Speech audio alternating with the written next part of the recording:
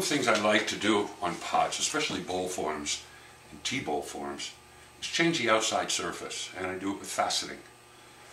Faceting the pots can happen at a curved facet. Here's a slightly curved one. Eh, this one's a little bit more straight up and down. So you have several options here. I'm going to show you how to get all of these options. You need a couple of tools, simple tools. These cheese cutters. If you can find these, in a uh, flea market, grab them. Because these metal ones aren't around much anymore. Everything's made of plastic. But what I do is I take this roller and I fix it at each end with epoxy so it doesn't roll. Otherwise, the piece I facet from the pot wraps around the bar and clogs the tool up. I also remove the wire that comes with the cheese cutter. Two screws here, undo them, pull this off, and I put my own wire on. This one is a piece of wiggle wire.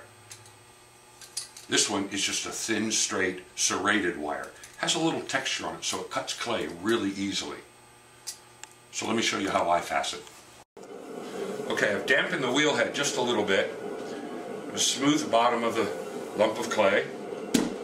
Attach it to the wheel head and get it centered. Now, this is about two and a half pounds of clay, and that's just an average bowl size and it's a, a, useful size to have in the house, in the kitchen.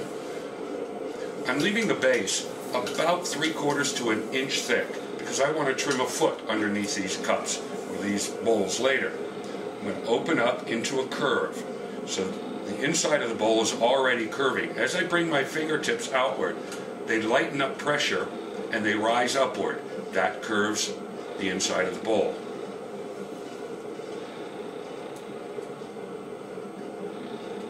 I'm going to bring up the cylinder,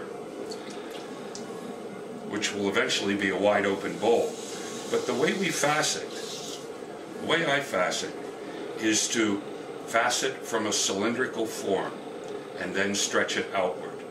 I'm going to facet away half the thickness of this wall. So right now this wall is about half an inch thick. You want to be aware of one thing here. The inside grooves that your fingertip makes, inside here, as you facet the wall and then push it outward, you're going to discover that those horizontal lines from your fingertips get pushed into the outside wall. So I don't want those in there. I use a rib and I slide down the inside and back out again, smoothing the inside completely. I keep it into a cylindrical form and use a rib and flatten it completely. Again, trying to avoid putting grooves at the inside wall.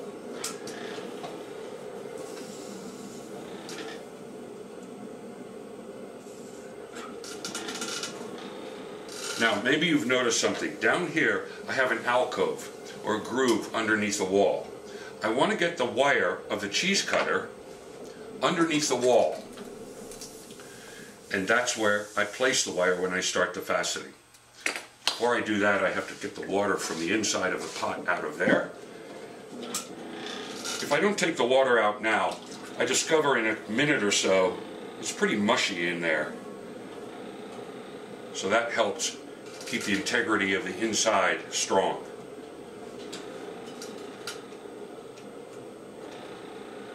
Okay, this is how I do a straight up facet. I'm going to take this straight wire tool, stop the wheel, clean this off here. I'm going to clean the slip off the wheel head, but I'm going to do something else that I've learned helps a lot during this process. I'm going to wet this whole area again, and you'll see why in a second. Stop the wheel. I'm going to start here. I'm going to hold the tool on my fingertips. It's balanced very lightly on my fingertips with my thumb on top. I'm going to put this fingertip right inside the rim. As I pull this upward, I don't want to push the rim inward because the wire will leave the wall too early. I want to cut the rim exactly in half with my facet. It's a timely thing. It's a, a thing that you want to do with a little bit of spontaneity. Pull these off. One of the things I'm trying to do is make sure that I don't have any of this thrown surface between my facets. So I make sure at this point that this wire, this end, is actually penetrating into that or crossing over into that last facet I've made.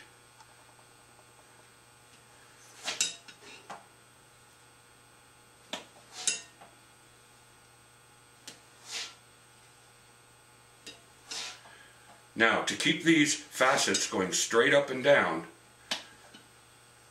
the next step is pretty important. Now, remember I put water on here?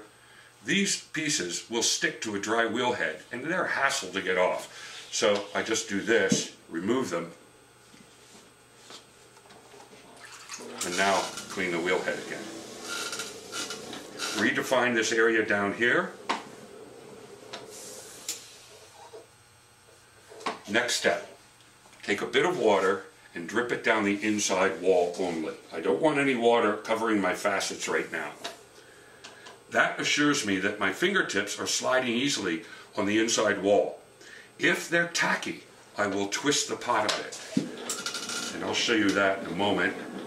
Now I'm just going to lightly, a few strokes at a time, push this bowl outward.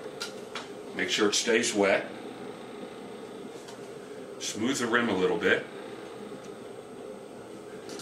And I'm using as much of the broad side of my finger as I can. I don't want to use a fingertip because I'll create horizontal bumps coming through the facets. So lean the rim out and then bring my fingertips upward. Now the wheel's going fairly quickly. I am actually watching here at nearly 12 o'clock I want to see the profile of the pot change. I'm not watching what my hands are doing, I'm watching what they're producing by watching this place here. So push it out. And now deal with the rim again. Now, here's something for you to notice. I've torn the rim. And that happens very easily if the wall is faceted too thinly. So I'm just going to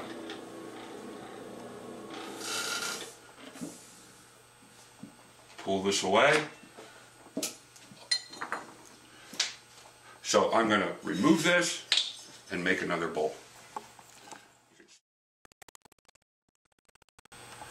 So I'm refaceting this next bowl, just being a bit aware that not to make the the wall's too thin.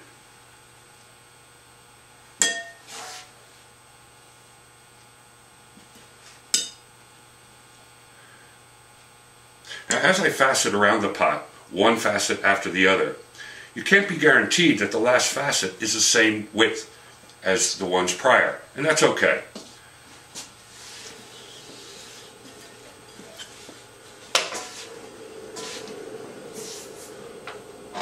I'm going to wet the inside again. Now let's hope we can pull this out without cracking the rim.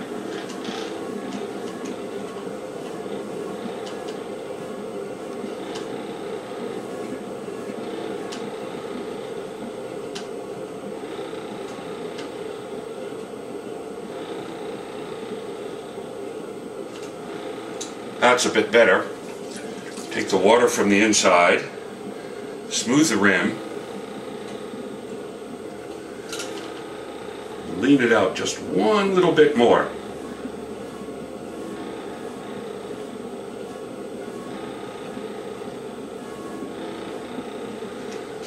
I'm going to use this rubber rib on the inside, smooth it a bit,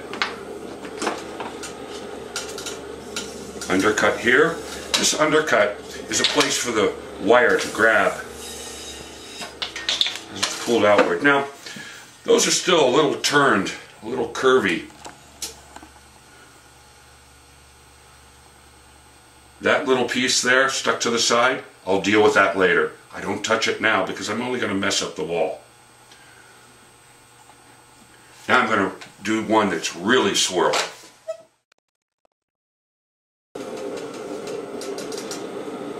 So I've made another cylinder. And I'm going to smooth the outside block, block off the rim, make it kind of squarish. Make sure I've got an alcove at the bottom. Clean the water from the inside.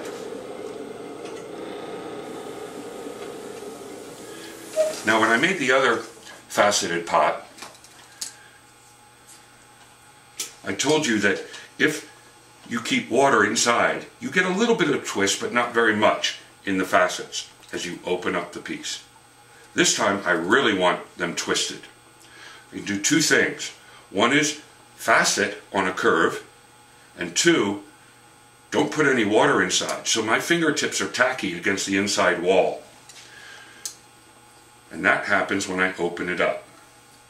So I'm adjusting this thing to be a little bit less than a quarter of an inch. Now, if I hold it upright, I get a very thin facet. If I hold it perpendicular to the wheel head, or parallel to the wheel head, I'll get a very broad facet. You can also push the, the roller against the pot and flatten it a bit. That'll assure you you'll get a really wide facet. I'm going to start at 3 o'clock. Again, balance the tool on my fingertips. And as I pull it upward, I'm going to turn the wheel head about a sixth of the circle. It's a rhythm thing again.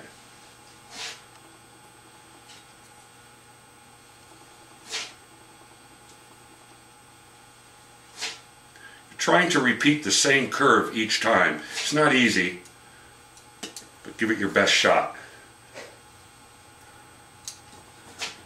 Pull them off, lay them on the wheel head. You can recycle those faceted pieces later.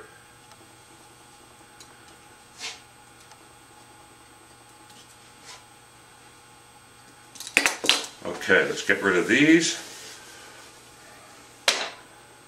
Now, I'm going to put just a little bit of water in here. So my fingertips are slightly damp. Tacky is a good thing here. And open this up.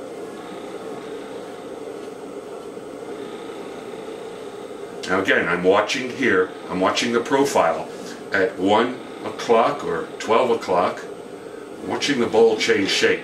If the wheel is spinning slowly, I can't see the profile. So that's why I sort of have to make it into a blur.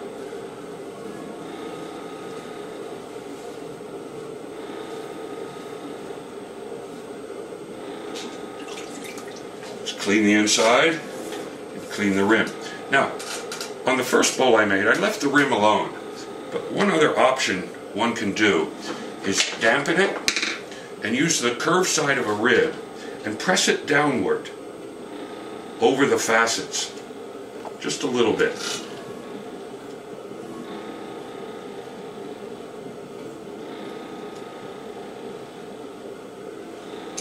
Now the rim goes a little uneven during this whole process, and that's okay by me. I don't mind that. Use the rib at the inside again. Put a swirl in it. Undercut down below.